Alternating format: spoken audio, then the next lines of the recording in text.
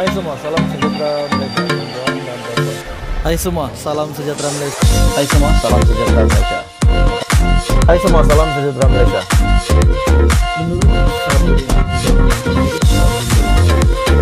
Hai semua, salam sejahtera Malaysia.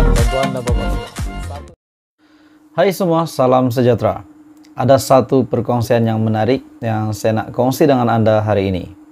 Di mana tular di media sosial um, sejak dari kemarin, tular di media sosial berkenaan dengan gambaran ataupun um, shadow, ha, shadow kabinet, kabinet bayangan Perikatan Nasional. Ini tular di media sosial dan menimbulkan rasa tidak puas hati beberapa pemimpin di dalam PN sendiri dan juga sudah pasti netizen rakyat Malaysia penyokong PN timbul e, merasa tidak puas hati dan mungkin ada juga yang suka dengan kabinet bayangan ini. Dan sebelum saya meneruskan e, kabinet bayangan ini, saya meminta Anda untuk e, menilai ataupun melihat adakah layak kabinet bayangan ini untuk diteruskan di dalam Perikatan Nasional. Kabinet bayangan PN dikuasai kaum tertentu saja. Hmm, apa maksudnya ini? Bekas ahli parlimen Bukit Bendera, Wong Hon Wai, yang melahirkan rasa kecewa dengan kabinet bayangan Perikatan Nasional yang menurutnya didominasi oleh sesuatu kaum dan tidak melambangkan masyarakat berbilang bangsa di negara ini. Menurutnya, satu wakil kaum Cina pun tak ada, satu wakil kaum India pun tak ada. Sabah ada satu orang, Sarawak ada satu orang. Tidak menggambarkan komposisi kaum dan geografi Malaysia. Tulisnya dalam satu hantaran. Oke, saudara-saudara semua, walaupun ini hanya kabinet bayangan belum dirasmikan, namun telah timbul um, satu kekecewaan daripada bekas ahli parlimen yaitu bekas ahli parlimen Bukit Bendera, yaitu Wong Hon Wai. Dan ini juga satu kekecewaan sekiranya ini bakal terjadi di mana kaum Cina dan kaum India tidak termasuk di dalam kabinet Perikatan Nasional. Adakah ini um, kita boleh um, sentuh tentang sentimen perkauman? Adakah ekstremis perkauman begini um, sepatutnya menjadi parti pilihan rakyat? Nah, itu persoalannya. Saya bukan memburukkan tapi eh, dan juga saya juga tidak menyokong. Namun persoalannya sekiranya benar eh, kabinet PN ini, kabinet bayangan ini bakal dirasmikan di mana Muhyiddin Yassin sebagai ketua ahli parlimen dan juga Hadi Awang sebagai timbalan ketua ahli parlimen PN dan ketua pembangkang Hamzah Zainuddin dan beberapa lagi pemimpin yang lain di bawah termasuk uh, Tuan Ibrahim dan Taqiyuddin Hasan serta Syahidan Kasim juga. Jadi sekiranya benar ini berlaku, um, adakah um, kabinet bayangan ini yang tidak menggambarkan komposisi kaum dan geografi Malaysia melahirkan rasa kecewa ramai orang. Kalau ini berlaku dan benar akan dirasmikan, apa komen Anda? Patutkah Perikatan Nasional um, membuat kabinet begini?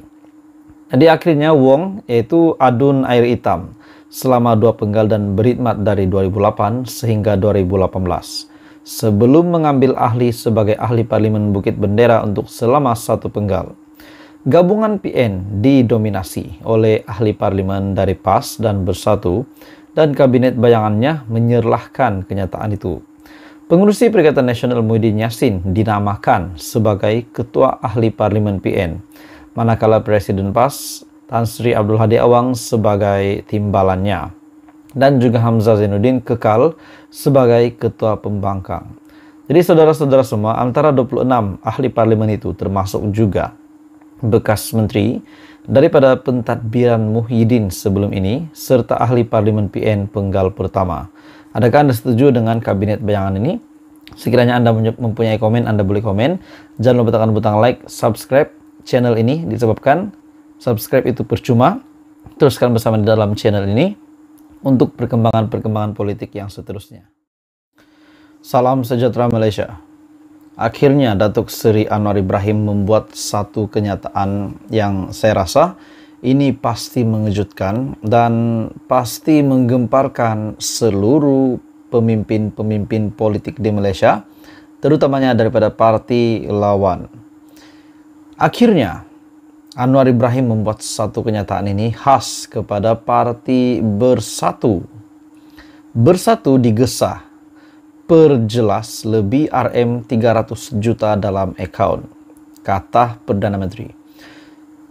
Saya sangat setuju dengan kenyataan daripada Datuk Seri Anwar Ibrahim. Disebabkan beliau adalah Perdana Menteri, sudah pasti beliau membawa, membawa suara rakyat. Rakyat pun yang sudah tahu tentang isu RM 300 juta ini pun mahu tahu dari mana RM 300 juta ini dan ke mana aliran uang RM 300 juta ini di mana sumber-sumber yang sebelum ini juga didapati bahwa RM 260 juta telah digunakan. Dan baki di dalam akun bersatu adalah RM 40 juta. Ini sudah disahkan oleh SPRM. Saudara-saudara semua, kejutan demi kejutan, pendedahan demi pendedahan, adakah kalau benar Muhyiddin bersalah, Muhyiddin bakal terima pada terima tindakan undang-undang daripada penguat kuasa dan Muhyiddin dan beberapa pemimpin-pemimpin yang lain daripada parti lawan menyokong Muhyiddin Yassin, bahkan menafikan perkara tomahan tuduhan yang mengatakan mereka menyeleweng dana. Oke, kalau benar memang tiada dana yang diseleweng, tunjukkan kepada rakyat, tunjukkan kepada Anwar Ibrahim sebagai Perdana Menteri, supaya semua pun menjadi saksi bahwa kamu tidak bersalah. Ah, lebih kurang begitu saudara-saudara. Itu bagi pendapat saya. Jangan cakap tetapi tidak tunjukkan yang kamu itu tidak bersalah. Disebabkan rakyat mahu tahu. Akhirnya bersatu digesa untuk perjelas lebih RM 300 juta dalam akaun kata Datuk Seri Anwar Ibrahim. Pemimpin Parti Pribumi Bersatu Malaysia. Dengan kata lain mungkin Muhyiddin digesa untuk memberi penjelasan kepada SPRM mengenai kedudukan keuangan parti itu yang dikatakan mempunyai lebih 300 juta dalam account party. Dan pada akhirnya SPRM telah membekukan account bank bersatu. Dan sejurus selepas itu Muhyiddin Yassin pula e, meminta untuk SPRM untuk membatalkan pembekuan itu disebabkan ingin memberi gaji kepada e, ingin memberi gaji kepada untuk pentadbiran di dalam bersatu. Dalam pada itu, Sekiranya mereka benar-benar bersih seperti yang diceritakan, pemimpin tersebut perlu dijelaskan kepada badan penyiasat mengapa pada masa yang singkat mampu mengumpul uang sebegitu banyak. Dan dari sumber mana? Itu perlu dijelaskan kepada SPRM.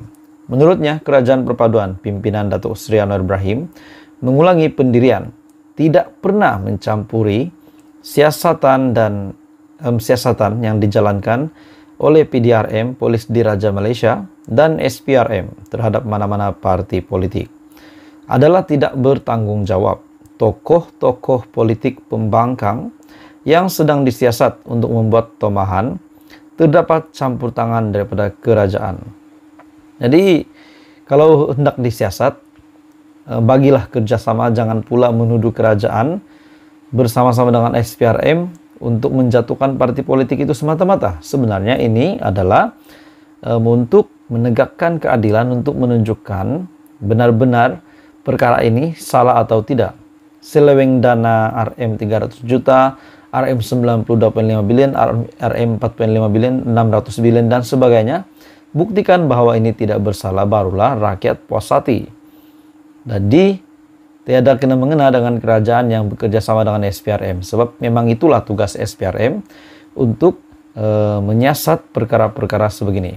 Saudara-saudara semua apa komen Anda? Akhirnya Datuk Sri Anwar Ibrahim mengumumkan bahwa bersatu perlu perjelas lebih RM 300 juta dalam account.